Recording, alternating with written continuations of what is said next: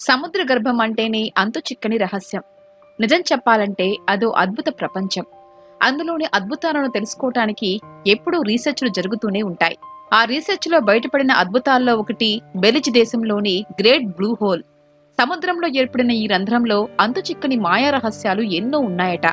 ఆ రహస్యాలు ఇప్పటికీ ఎవరూ తెలుసుకోలేకపోయారు. ఈ బ్లూ హోల్ ఎక్కడుందో ఆ మిస్టరీలేంటో ఈ వీడియోలో చూద్దాం. భూమి ఉపరితలంపై డెబ్బై ఒక్క శాతం నీరు ఉంటుంది. కానీ అందులో ఇరవై శాతం మాత్రమే మనిషి ఎక్స్ప్లోర్ చేయగలిగాడు. అంటే మనకు సముద్రాల గురించి తెలిసింది గోరంతే.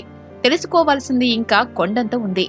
దాని గురించి తెలుసుకునేందుకు కొన్ని వందల సంవత్సరాల నుంచి రీసెర్చ్లు జరుగుతూనే ఉన్నాయి.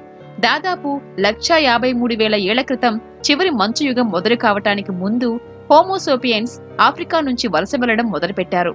ఆ టైంలోనే ప్రస్తుత బెరిజ్ దేశ తీరంలో ఒక పెద్ద గుహ ఏర్పడింది. అప్పట్లో నీళ్ళు ఎక్కువగా గడ్డకట్టి ఉండటం వల్ల సముద్ర మట్టం చాలా తక్కువగా ఉండేదట. అప్పట్లో రష్యా అమెరికాకు మధ్య యూరప్ దేశాలకు బ్రిటన్కు మధ్య భూభాగం ఉండేది. దాంతో వలసలు ఎక్కువగా జరిగేవి. కానీ పదిహేను వేల సంవత్సరాల క్రితం రెండు సార్లు మంచు బాగా కరిగింది. దాంతో మంచు యుగం ముగింపు దశకు చేరుకుంది. మంచు బాగా కరిగిపోయి మహాసముద్రాల మట్టాలు పెరిగాయి. యూరప్ నుంచి బ్రిటన్ రష్యా నుంచి అమెరికా వేరయ్యాయి. వరదలొచ్చి మనుషుల నివాసాలతో పాటు అన్నీ మునిగిపోయాయి. అలా మునిగిపోయిన వాటిలో ప్రస్తుత బెలిజ్ దేశంలోని ఒక పెద్ద గుహ కూడా ఉంది. మంచు కరిగి బెలిజ్లోని గుహను వరదలు ముంచెత్తాయి. ఆ ప్రాంతమంతా సముద్రపు నీటితో నిండిపోయింది. దాంతో సముద్రంలో అతిపెద్ద సింగ్ హోల్ క్రియేట్ అయింది. దాన్నే ఇప్పుడు గ్రేట్ బ్లూ హోల్ అని పిలుస్తున్నారు. ఈ గుహ బెలిజి తీరానికి నలభై మైళ్ళ దూరంలో ఉంది. ఇది యునెస్కో వరల్డ్ హెరిటేజ్ సైట్ అయిన బారియర్ రీఫ్ రిజర్వ్ సిస్టమ్లో భాగంగా ఉంది. దీని వ్యాసం దాదాపు వెయ్యి అడుగులు. వృత్తాకారంలో దాదాపు నాలుగు వందల ఏడు అడుగులకు పైగా లోతులో ఉంటుంది. ఇది మామూలు సముద్రపు నీటి కంటే ఎక్కువ ముదురు నీలం రంగులో కనిపిస్తుంది. ఎందుకంటే అందులో ఉన్న నీళ్ళు ఎక్కువ ట్రాన్స్పరెన్సీగా ఉంటాయి. పైగా ఈ గుహ గోడలు సున్నపు రాయితో ఏర్పడ్డాయి. అందువల్ల నీళ్ళు స్పష్టంగా కనిపిస్తాయి. దానివల్ల బ్లూ లైట్ ఎక్కువ రిఫ్లెక్ట్ అవుతుంది. అండర్ వాటర్ ఎక్స్ప్లోరర్ అయిన జాక్విన్ కుస్టియో పంతొమ్మిది వందల డెబ్బై ఒకటిలో దీన్ని గుర్తించాడు. ఆ తర్వాత దీనిపై చాలా మంది సైంటిస్టులు హిస్టోరియన్లు రీసెర్చ్లు చేశారు. గుహ లోపల ఎలా ఉంటుందో తెలుసుకునేందుకు కుస్టియో బ్లూ హోల్లోకి వెళ్ళాడు. కానీ ఆయన ప్రయత్నం సక్సెస్ కాలేదు. దాని గురించి పెద్దగా తెలుసుకోలేకపోయాడు. అయితే ఆ హోల్ను ప్రపంచానికి పరిచయం చేయగలిగాడు. ఆయన వల్లే దాని గురించి అందరికీ తెలిసింది. ఇప్పుడది పెద్ద టూరిస్ట్ స్పాట్గా మారింది. బ్లూ హోల్ లోపల పూర్తిగా చీకటిగా ఉండటం వల్ల కుస్టియో ఎక్కువగా తెలుసుకోలేకపోయాడు. అందులో సున్నపురాయి స్టలకైట్లు నిర్మాణాలు ఉన్నాయని గుర్తించాడు. గుహ పైభాగం నుంచి వేళ్ళాడుతూ కనిపించే రాతి ముక్కలే స్టలకైట్లు. ఇవి సముద్ర మట్టం పెరగడానికి ముందే ఏర్పడ్డాయని రీసెర్చ్లో తేలింది. అంటే ఈ సింగ్ హోల్ ఒకప్పుడు భూమిపైనున్న పెద్ద గుహ అని అప్పుడే తెలిసింది. అందులోని కొన్ని స్టలకైట్లు ఐదు డిగ్రీల వరకు వంగి ఉంటాయి. దీన్ని బట్టి భూమి మీదున్నప్పుడు కూడా ఆ గుహలో అనేక మార్పులు జరిగాయని తెలుసుకున్నారు సైంటిస్టులు. అయితే అప్పట్లో పెద్దగా టెక్నాలజీ లేకపోవటం వల్ల రీసెర్చ్లు చేయడం కుదరలేదు. సరిగ్గా నలభై ఏళ్ళ తర్వాత క్యూస్టియో మనవడు ఫ్యాబియన్ క్యూస్టియో కొంతమంది సైంటిస్టులు ఎక్స్ప్లోరర్ ఫిల్మ్ మేకర్స్తో కలిసి బ్లూ హోల్ దగ్గరకు వెళ్ళాడు రెండు వేల పద్దెనిమిదిలో ఫాబియన్ క్యూస్టియో ఆ హోల్లో ఏముందో తెలుసుకునేందుకు ప్రయత్నాలు మొదలుపెట్టాడు. గుహ లోపలికి వెళ్ళినప్పుడు మూడు వందల అడుగుల లోతులో హైడ్రోజన్ సల్ఫైడ్ గ్యాస్ ఆవహించి ఉంది.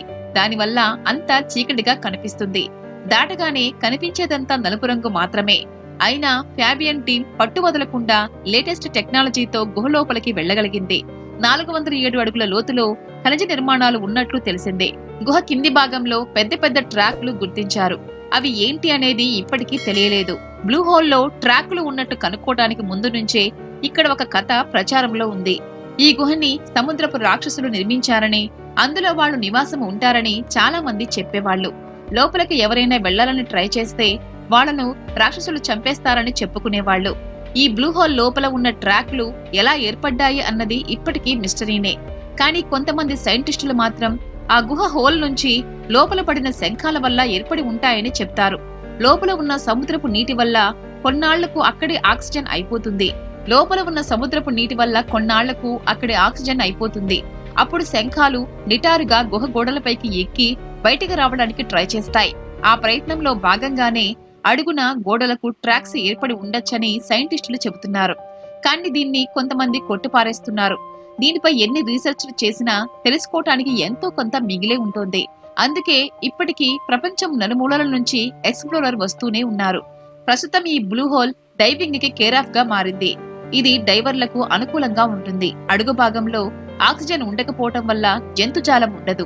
కాబట్టి ఈ సముద్రంలో ఉండే ప్రమాదకరమైన Caribbean reef shark bull shark hammerheads వంటివి ఇక్కడికి రావు.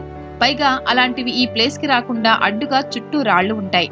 ఈ కారణాల వల్ల స్కూబా డైవర్లు ఈ ప్లేస్ని డైవింగ్ కోసం సెలెక్ట్ చేసుకున్నారు. రెండు వేల పన్నెండులో డిస్కవరీ ఛానల్ పది ప్రపంచంలోని అత్యంత అద్భుతమైన ప్లేస్లను గుర్తించింది. ఆ లిస్టులో గ్రేట్ బ్లూ హోల్ మొదటి స్థానం దక్కించుకుంది. ఇలాంటి బ్లూ హోల్స్ ఫ్లోరిడాలో కూడా ఉన్నాయి. ఫ్లోరిడా తీరంలో వేల సంవత్సరాల క్రితం ఏర్పడిన కొన్ని బ్లూ హోల్స్ కూడా ఉన్నాయి.